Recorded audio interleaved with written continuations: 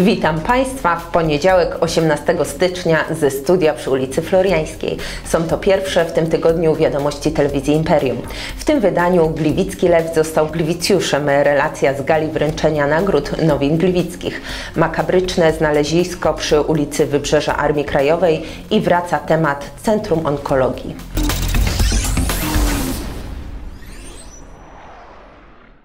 Jak bumerang wraca temat gliwickiej onkologii. 11 stycznia odbyło się zebranie założycielskie Stowarzyszenia na rzecz Śląskiego Instytutu Onkologii w Gliwicach.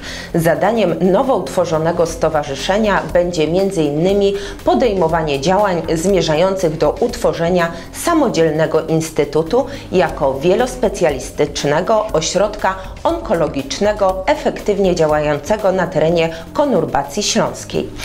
Działania te popiera także marszałek województwa śląskiego Wojciech Saługa, który wystosował apel do parlamentarzystów. Nie możemy tolerować sytuacji, w której Gliwicki Oddział Centrum Onkologii jest ofiarą własnej gospodarności i zmuszony jest przekazywać wypracowane nadwyżki finansowe do ośrodków w Warszawie czy Krakowie, gdyż cierpią na tym pacjenci. Stanowisko zostanie także przedstawione na dzisiejszej sesji Sejmiku.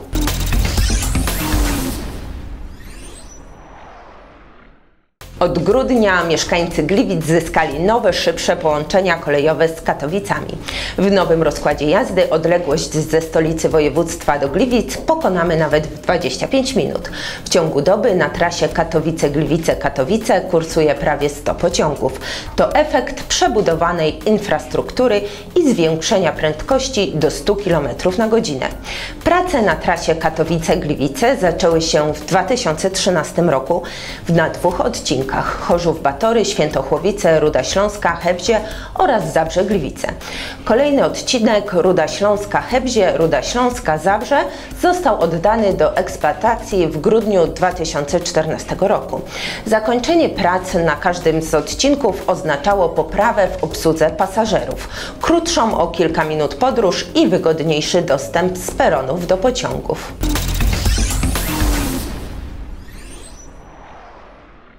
Piątek w okolicach Centrum Onkologii doszło do makabrycznego odkrycia. Z chłodnicy wyłowiono zwłoki mężczyzny.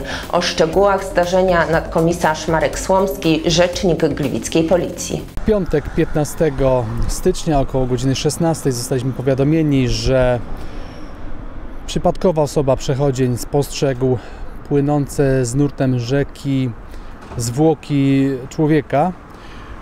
To działo się na wysokości szpitala onkologicznego w Gliwicach. Na miejsce pojechała policyjna ekipa śledcza, prokurator.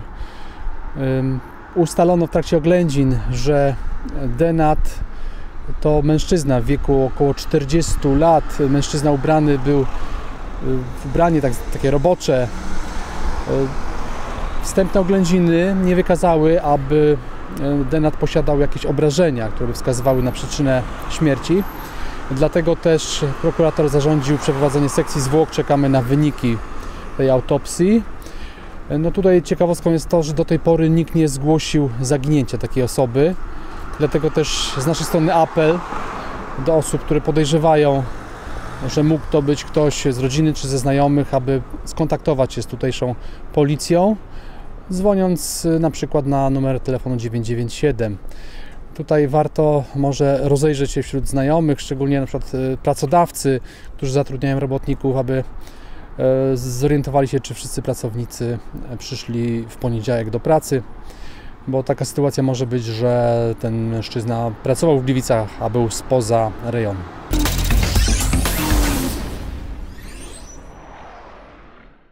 W piątek nowiny gliwickie już po raz dziewiętnasty wybrały Gliwicjusza, czyli człowieka ziemi gliwickiej. Tegoroczna gala, podczas której wręczono statuetkę wykonaną przez profesora Krzysztofa Nicza, była tym bardziej uroczysta, że finał konkursu zbiegł się w czasie z obchodami 60-lecia tygodnika. Wydarzenie, które miało miejsce w Centrum Kultury Studenckiej Mrowisko, stało się okazją do spotkania z dawnymi redaktorami oraz przyjaciółmi i sympatykami gazety. W dobie, kiedy różne twory, redakcje medialne tworzą się i upadają, e, przetrwać 60 lat to jest naprawdę wielki wyczyn. Myślę, że tak. Myślę, że tak, ale to jest zasługa przede wszystkim ludzi. Bo to nie jest fabryka gwoździ, to nie jest żadna inna fabryka, której się produkuje, to jest po prostu ludzki umysł i ludzka potęga i ludzka praca co tydzień przez te 60 lat. Tak jak dzisiaj tutaj przedstawialiśmy zespół, który tworzył tę gazetę wcześniej, tak e, naprawdę ta gazeta miała szczęście do, do wspaniałych, świetnych, profesjonalnych dziennikarzy. No i to jest chyba ta podstawa, że, że ciągle jesteśmy i ciągle nas chcą czytać, bo to jest to, jest to prawda? No, musimy dotrzeć do czytelnika i do tego odbiorcy i przekonać go, że mają nas kupić za 2,60, a nie wziąć na przykład gazetę jakąś bezpłatną. Nasze święto jest wyjątkowe, bo przez y, 60 lat y, staramy się y, zapisywać dzieje tego miasta, staramy się być z mieszkańcami tutaj na bieżąco, y, staramy się zapisywać y, w zasadzie każdy, y, każdy dzień. Mamy te możliwości ze względu na to, że wydajemy y, gazetę, czyli papierowe wydania, mamy y, portal internetowy, mamy telewizję, mamy fanpage y, na Facebooku. Ja wiem, że dzisiejsze czasy to są y, czasy galopady i multimediów, ale cieszę się, że mój tytuł mógł temu wyzwaniu y, sprostać. Zaczynaliśmy od gazety, od linotypów, a jesteśmy w nowej multimedialnej rzeczywistości. Uważam, że to wielki sukces. Dzisiejsza uroczystość to głównie gala z okazji Człowieka Ziemi Gliwickiej y, 2015. Y, Wszystkie kandydatury, wsz- wszyscy laureaci, cała dziesiątka, to były mocne osobowości i wybór był naprawdę trudny, bo każda z tych osób działa w różnych y, sferach. Y, W finałowej trójce znalazła się trójka kandydatów, jak wiemy, y, pan generał Jarosław Szymczyk, y, pan Wojciech Kotylak i pan profesor y, Andrzej Karbownik. No tutaj obrady były burzliwe, bo to bardzo silne osobowości, bardzo znani, pracowici ludzie.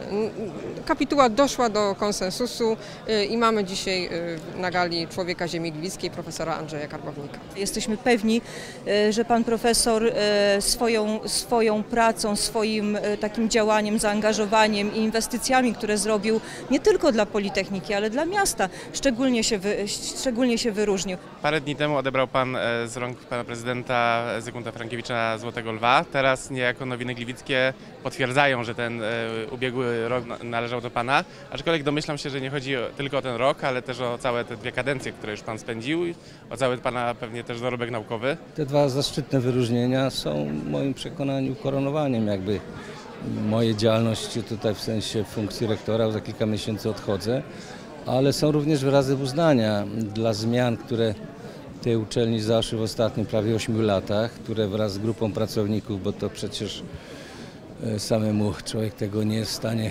dokonać, e, z grupą pracowników się zrealizowały. No i jest również, sądzę, wyraz uznania dla sie- 70 lat działalności Politechniki Śląskiej w Gliwicach, bo to też jest pewna dobra rocznica i czas na taką ocenę, podsumowania. Myślę, że, że Politechnika Śląska jest tu również dobrze postrzegana jako uczelnia techniczna i te wyróżnienia w części to moim zdaniem potwierdzają. Dziękuję za uwagę. Były to poniedziałkowe wiadomości telewizji Imperium, dostępnej w sieci kablowej Imperium Telekom. Po serwisie informacje sportowe, które przygotował i przedstawi Radek Nosal. Życzę miłego dnia.